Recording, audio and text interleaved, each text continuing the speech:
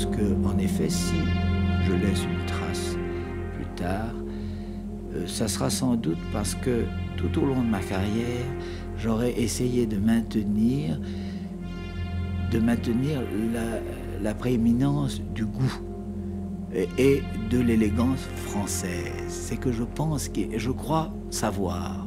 On pense toujours qu'on a la clé de, de, tous les problèmes. Mais moi, je crois que au fond, au fond, je sais, je possède cette clé d'une élégance française, d'une élégance mesurée, cartésienne, d'une élégance qui, euh, qui fait fi de l'effet.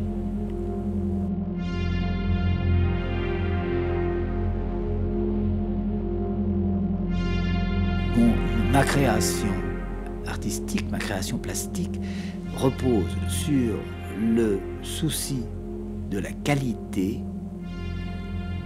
en même temps que sur l'équilibre de la construction. Et je prétends, et ceci est, une règle qui m'a été donnée quand j'avais 20 ans par Molineux, qui avait d'énormes qualités à ce point de vue-là, je prétends que rien dans un vêtement n'est acceptable si ce n'est, si ça ne fait partie de la construction du vêtement.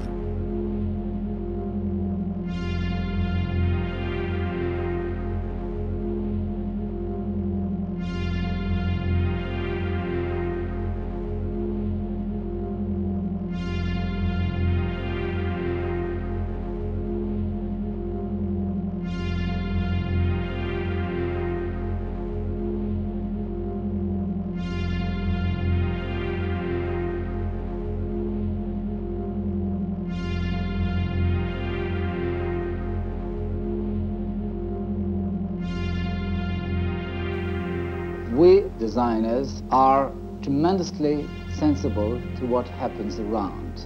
Women want, they want to look younger.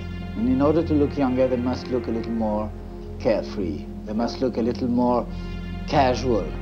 Black is the only color that young people can wear more successfully than old people. A young girl dressed in black is always tremendously beautiful an older woman in black can be dreary. That's why black is not an old color, it's a young color. Black velvet is the epitome of young and sexy charm because there is also a touch of sex in fashion now.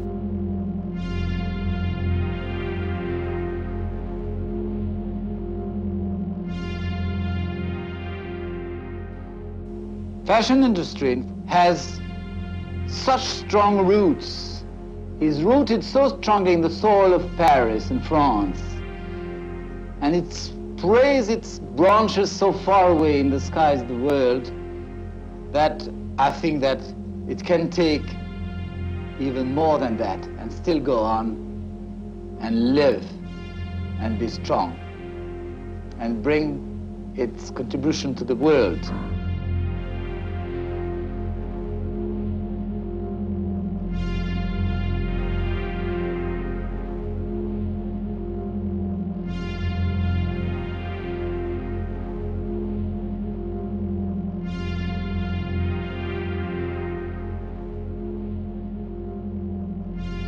Ce qui restera de moi, ça sera sans doute euh, cette, euh, comme je le disais tout à l'heure, cette défense d'une certaine élégance à la française, euh, qui a été la règle d'or de toute ma vie. Le plus grand couturier, c'est celui qui va naître demain.